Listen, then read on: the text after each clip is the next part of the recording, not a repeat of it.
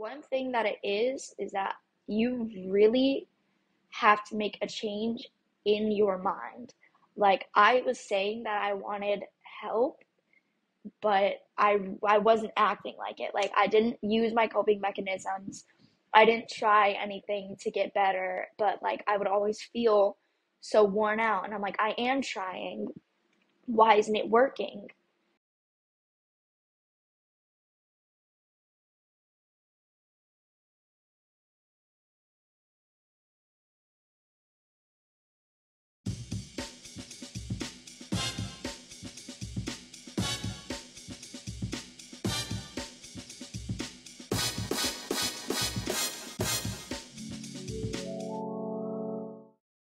To Adventure Ted Chats, Righley. Welcome to the show.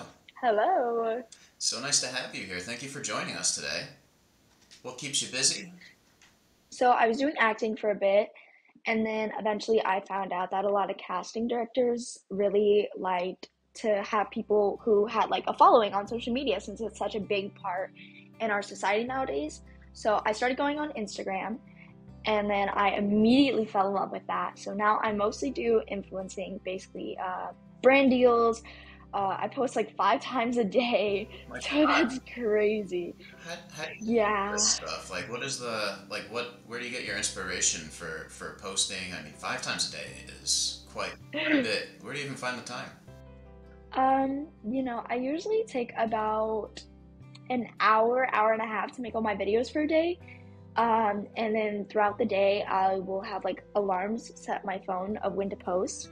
But a lot of the inspiration I take is from like other creators that I watch or just like videos that I think are fun to make. And then obviously, like whenever I have a tired day or a lazy day, I'll just like use a trending sound or a trending filter. But like, you know, I just I try to always have fun with it because I know that if I don't, then it's gonna start feeling like a chore.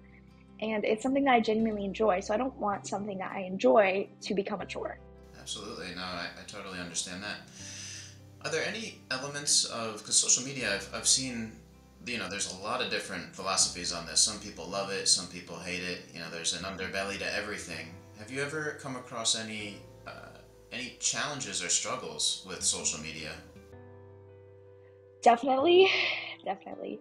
Um, so first of all, like the first thing is just like growing a following can be very difficult. Like it took me a very long time to get to where I am currently. Um, but also like some of the people you meet in this like business are so so like mean and toxic. And that's definitely like what I think the biggest struggle is.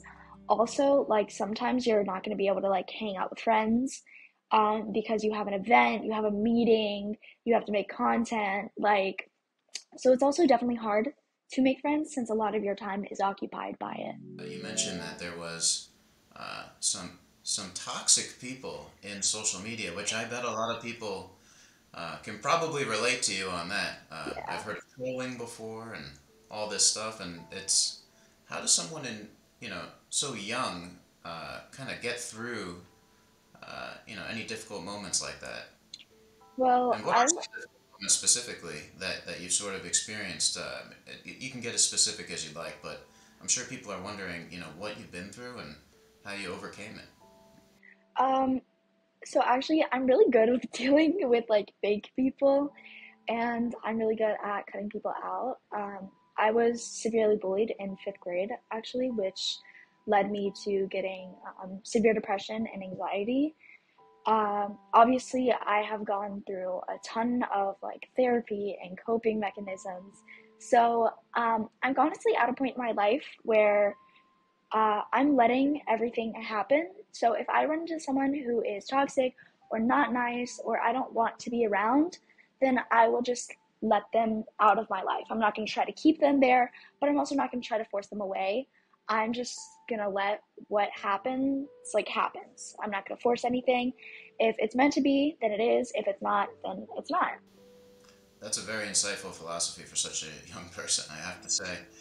Um, I'm wondering, uh, like, so bullying can take on many different shapes and different various types of degrees, and some is uh, maybe perhaps more blatant than others.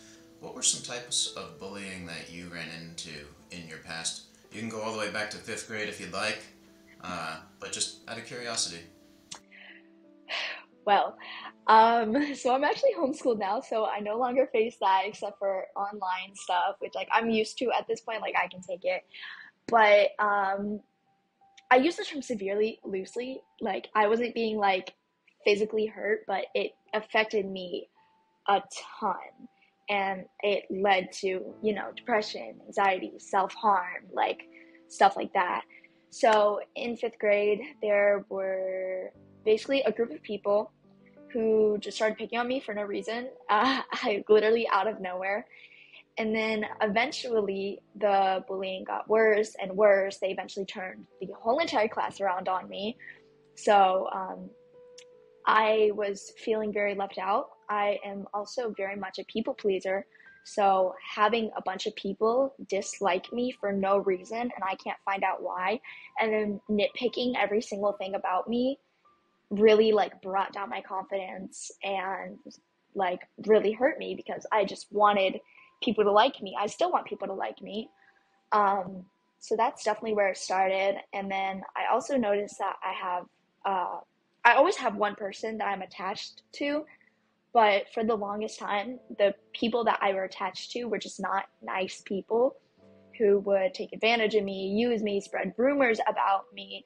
Um, my best friend in sixth grade went as far as literally sending me death threats, telling me that I should have killed myself in fifth grade.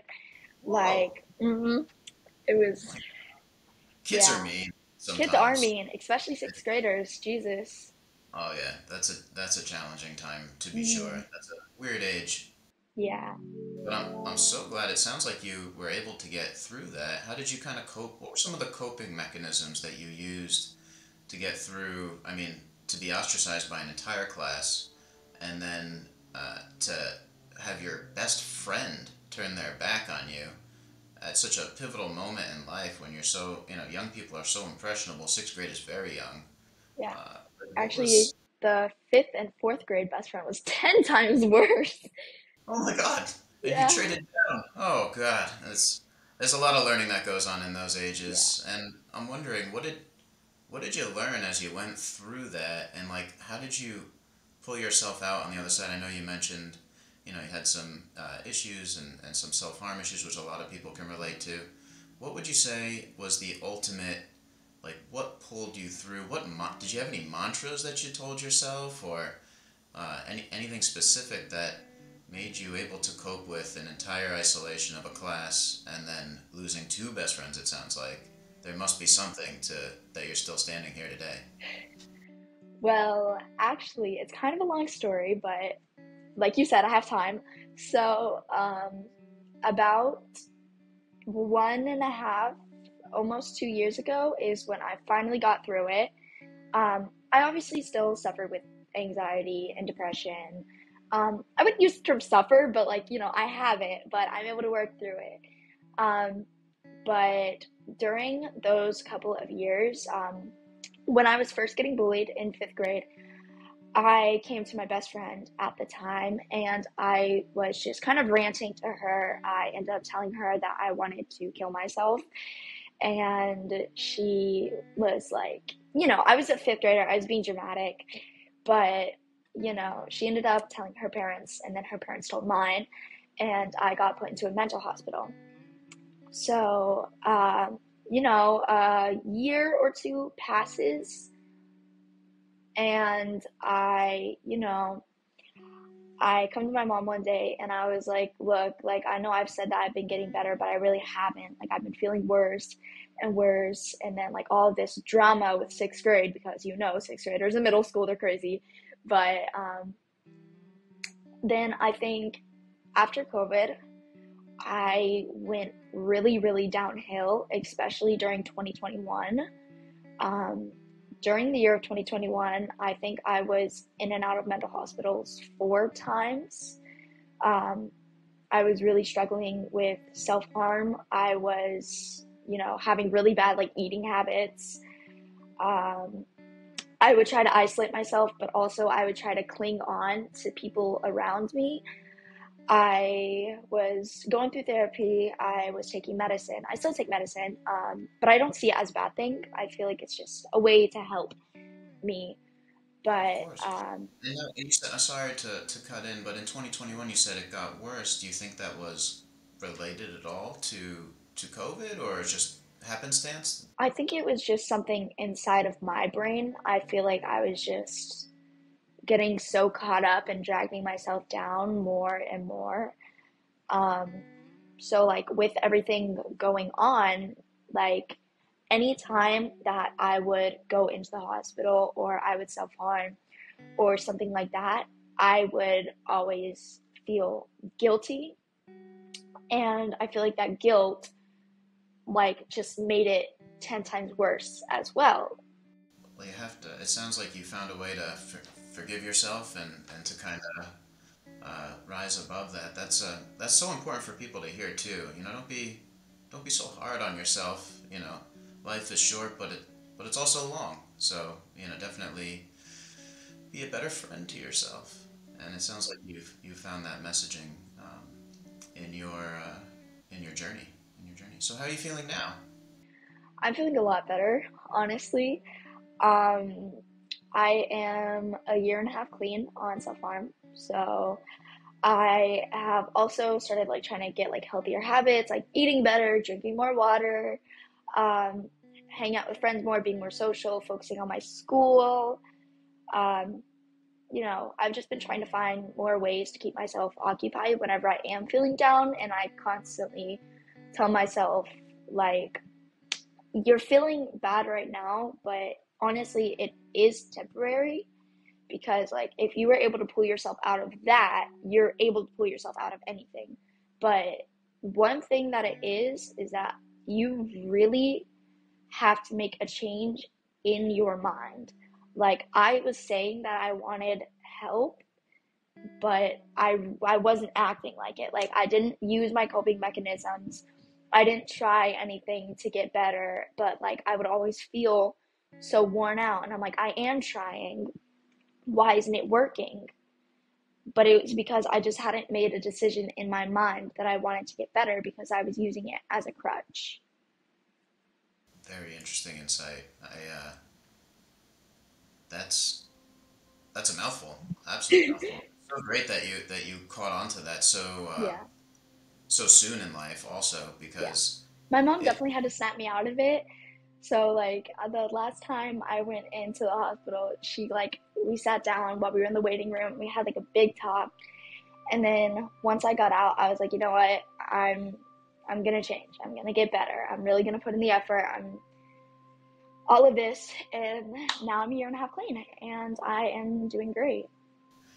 I think that's true of like a lot of things too, and it's so great that you have your mom for that kind of guidance and stuff because you have to want in all things. You know, if you you want to get fit, you have to want it. If you want to get mentally, you know, clean, you you have to want it, and it's yeah, uh, it's so uh, insightful that you that you realize that too at such a young age, and that it seems to be working really well for you. So, well, thank you so much for sharing that with us. By yeah, the way, course. that's such an incredible story for for people to hear and to know that they're not alone too. I I know Yeah, there's lots of people who feel probably just like that and just don't have the ability or really the the courage to come out and talk about it. Everyone feels like they're sort of these isolated soldiers just kind of living their life, and it's so nice to be able to uh, have someone that puts it out there. You're really reaching out to a lot of people right now, and I want to thank you for sharing that with all of us. So, on to something uh, maybe more frivolous. What what are you what are you looking forward to in the upcoming year? Okay. In the upcoming year, uh, I'm really excited for Playlist. Uh, that's basically a big like it's a big influencing event where influencers from all across the country come together. And I went last year and I made like so many friends and that was like that was like peak moment of my life. Like that was amazing. I loved it there. Um, What I- was like a party in Florida? yeah, it's kind of a party. Um, it's like it's a it's more an event. So there's influencers that come, but then there's also people who aren't influencers that come, whether they want to like try to become influencers or whether they want to meet people that like they really look up to. So it's a really, really huge thing. Um, like Convention, kind of. yeah, it's a convention. Yeah, have you ever heard of VidCon? I sadly I live under a shell, so I, I, It's uh, kind of the same thing as that, but it's like it's a convention basically. Oh, cool, cool, and uh, a place to make friends and find like-minded people who like you, and it's uh, well, that's a great way to find friends too, is to find people who enjoy doing the same things and uh, and to work with uh, like-minded people. So it sounds like you you've really figured it out at such a young age. It's it's incredible.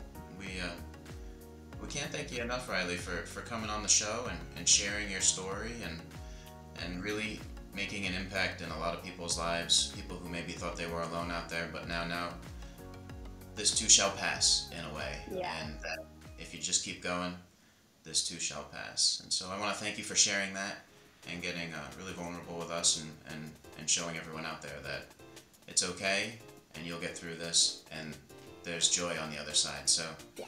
thank you so much, Righley, for coming on the show and chatting with us. Yeah, of course.